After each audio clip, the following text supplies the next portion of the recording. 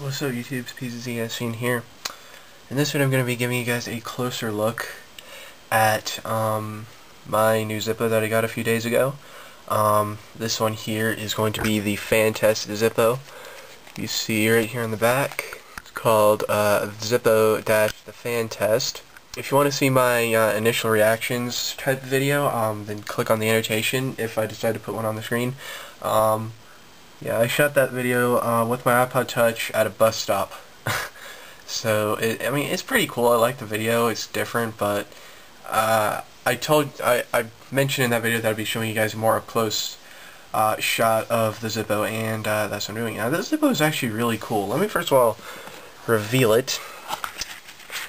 There it is, Zippo, the fan test. Alright, now here's the Zippo design. As you can see, if we take it out of the box, You'll see that it is a satin chrome lighter. Alright, this is what it looks like open. There it is opened. Looks pretty sexy, if I do say so myself. Um, I got this for $24.95. It's MSRP. I actually got for a little bit of a discount. Um, so, but that's okay. Uh, it, it usually runs for $24.95 for most people. So there's that. Um, I should just keep the box in. And uh, as you can see, it is a satin chrome if I haven't already mentioned that. Um, this particular lighter was made in I of 09, which is interesting because I got this out of a display case uh, at the smoke shop, again, two days ago. This is currently 2012. So uh, this is like a, you know, a two and a half, little over two and a half year old lighter. I thought that was kind of crazy. Um, this lighter in particular, let me just mention this real quickly, uh, is going to be sent back into Bradford be, uh, because um, it does have a cam issue. I did not notice this in my initial video, but I did mention this in a video after that. Watch the cam as I tip it. Watch. You see? You see that? Hang on. There you go. That was a good shot. Let me actually take the insert out and show you that again. Watch. Turn this way. Watch the cam. There you go. You should not be able to do that. Kind of rattles. I don't know if you'll be able to hear that or not on camera. But this is rattling a little bit, a little rattly. Um, the insert, if you're wondering, was made in H of 09. It's kind of hard to see. Uh, that is an H. Eh. Let me see if I can refocus. Alright, you can guys see a little better. H of 09. So when this thing was made, you can see there that they that it says made in Zippo USA. Unlike some of the other lighters I've shown recently, which say Zippo made in USA, they changed that in 2011 um, for some reason. I don't know why. They changed that last year. And so, yeah. Anyway, my original plan was to basically just stop the video here because you've got a very nice detailed look at it right now. But no, this lighter is pretty cool. Um, I'm going to get a little bit more into it.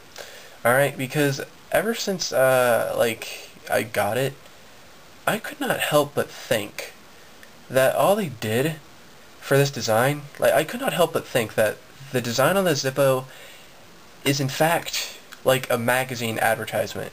Like, you know, they took an ad out of an old magazine and just use that as, the design. I mean, and I just could not help but think that. And, well, but right, literally right before I did this video, I uh, researched that a little bit on Google Images.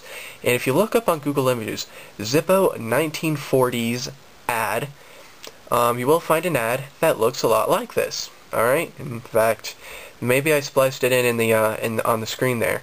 I'm not really sure. But yeah, this is in fact straight from an ad. In fact, it is an ad for Zippo um, as you can see, which is pretty dang cool. Now, there's a few things um, about this that are pretty interesting also.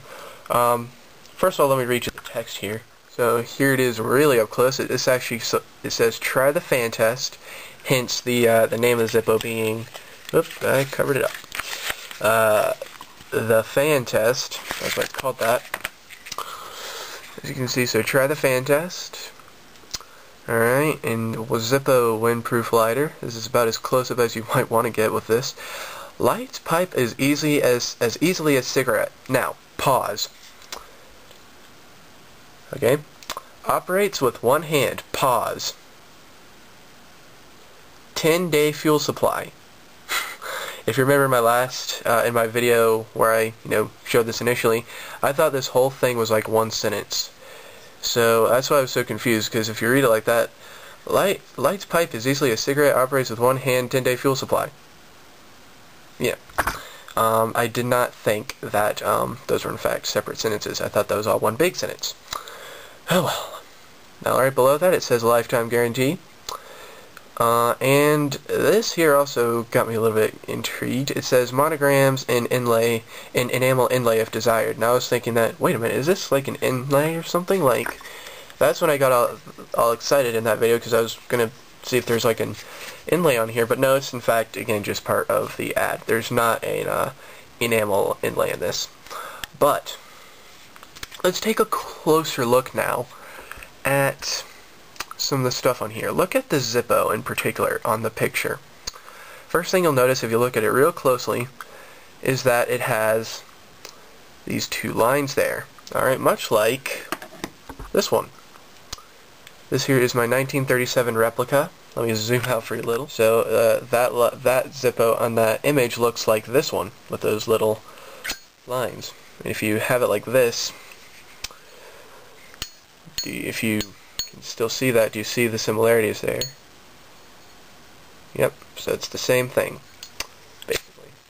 So this is in fact a 1937 to 1940-ish era advert that they stuck on as a design for the Zippo, which I think is pretty cool. Alright, this here is again a 1937 replica. Um, I have a video up on this if you want to see it. Just look up 1937 replica on my YouTube channel, um, which is pretty cool. So that's that. Now, if we take actually another look at this lighter, actually no. Let's, first of all, let, yeah, let's look at this lighter. Alright. Now, what else do you notice that's interesting about it? Well, look at, I'll give you a hint. Look at the um, chimney. Alright, do you notice anything different about the chimney? Alright, I'm going to show you this one's chimney, so get ready because it's going to fly away from you. Ready? Set. Look at this chimney. Alright, see that chimney? Alright, now look at this chimney. See? What are the difference? Do you see the difference? There is one. Is that one? There's that one.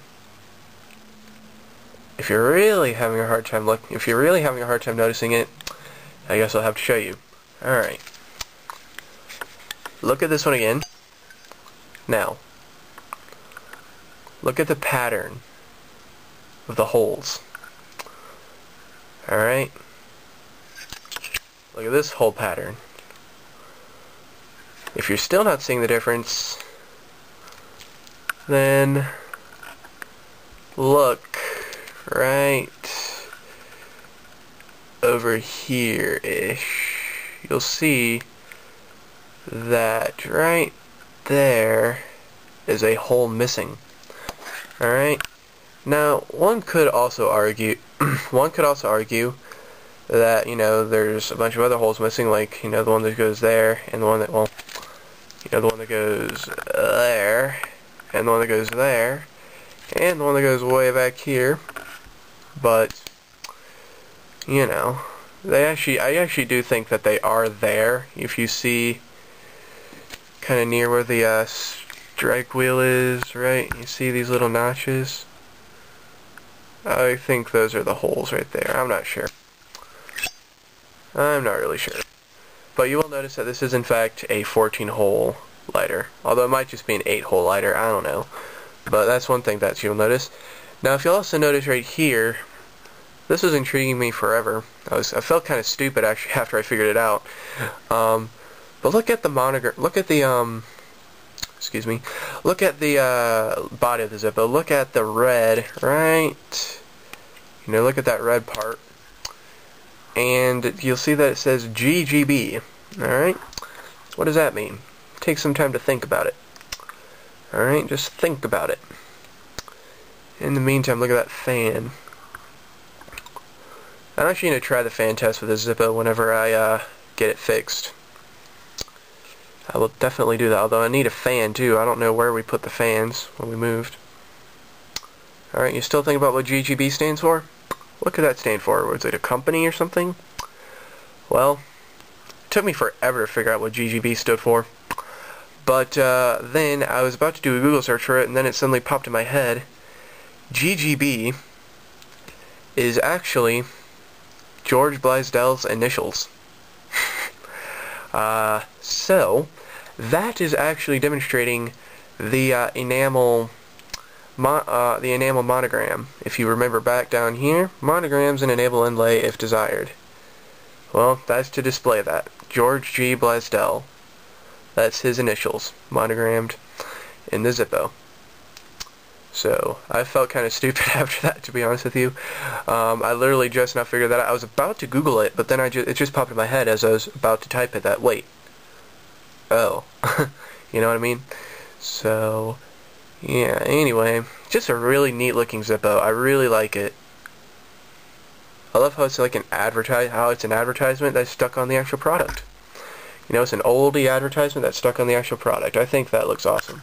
So anyway, if you happen to see the Zippo in your local smoke shop or wherever, you should definitely pick it up. If not, then you can look on Amazon. Amazon will have it. Um, Zippo's website doesn't have it. I can only assume they might have discontinued this design, so make sure you you might need to get it off of um, Amazon or eBay or such. But yeah, it's definitely a cool looking Zippo. Um, definitely one of my favorites. It'd be nice when I get it fixed. then it probably will become my favorite. So we'll see. Anyway, that's about it for now. So, thank you guys for watching, and adios.